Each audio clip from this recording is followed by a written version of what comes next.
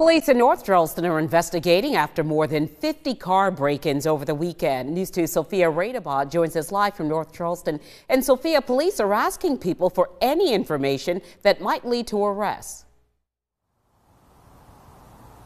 That's right, Carolyn. Well, police here in North Charleston say the break-ins happened between 2 a.m. and 6 a.m. Friday through Sunday this past weekend, and they do believe it was the same group of suspects that were behind all the crimes.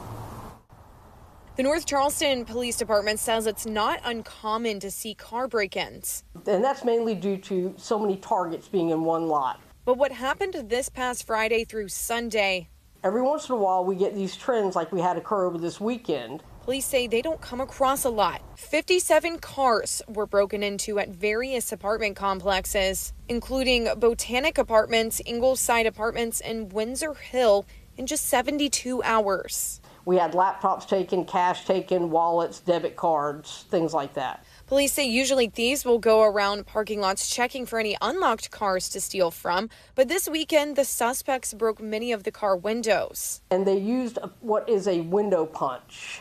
And if y'all have never seen them, it's it's like for breaking into car into windows, a case of emergency type situations, you can get the window out. The North Charleston police say they're doing their part to enhance police presence at complexes across the area. Mainly, we've increased patrols, and I know I've gotten emails from folks that have said they've noticed the increase in patrols since uh, the stuff happened. But are asking drivers to also do their part. Don't leave your valuables in your vehicles. Be very vigilant about what you see. Call in stuff that seems suspicious.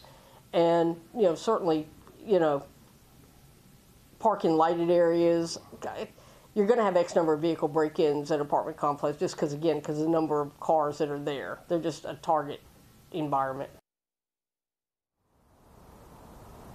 Police say they're still assessing how much inventory was stolen, but they do say more cars were damaged than property taken. Live in North Charleston, Sophia Radabach, Count on 2.